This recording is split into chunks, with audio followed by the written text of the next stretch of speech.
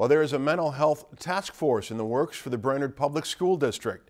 Following a Brainerd School Board meeting late last month, the board's Student Support Services Committee is now exploring the possibility of further addressing students' mental health needs. Reporter Miles Walker has more.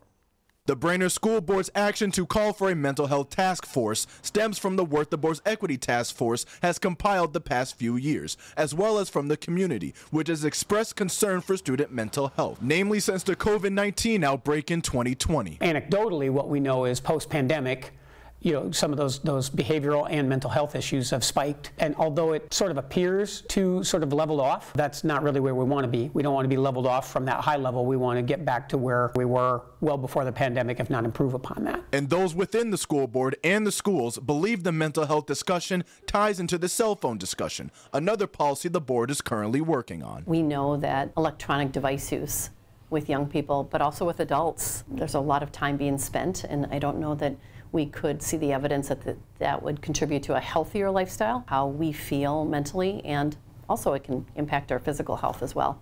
According to the 2022 Minnesota Student Survey, 29% of students reported greater struggles with mental health than at any other time since first recording the data in 1989, with reports of 11th graders considering suicide jumping to 28% as well. Yeah, I mean, I think, again, not, not being an expert in the field, it challenges with uh, enrollment, challenges with attendance, challenges with student behavior. It's really a question of where, where do you start to tackle something like that? And again, what, what role does the school district itself play in that?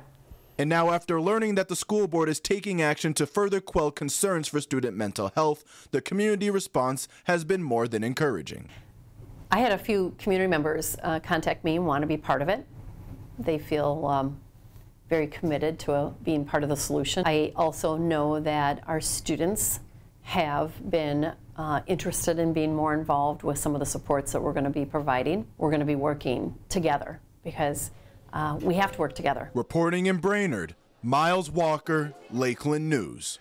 The Brainerd School Board does not have a definitive date for the launch of the incoming mental health task force, but the board is hopeful it will be ready by the winter. Lakeland News is member supported content. Please consider supporting Lakeland News today.